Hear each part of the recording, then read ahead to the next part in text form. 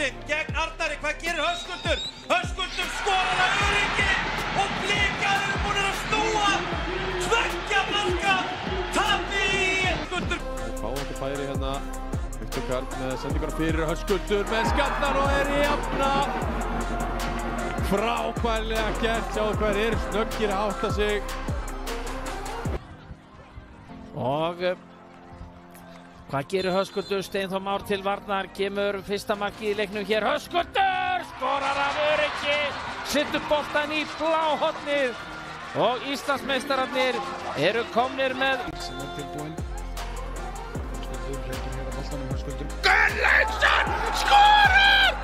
Höskuldur Gunnlaugsson minkar það niður í eitt mark Hvað er að gerast? Hvað er að gerast? Þeir hafa núna þrjár mínútur í það minnsta því að Höskuldur Gunnlaugsson með störla mark beint úr aukaspinnu, þú verðan ekki. Pónjött, þá getur þú gengið að vísu og vinna til. Er Höskuldur. Og Höskuldur með skot, hann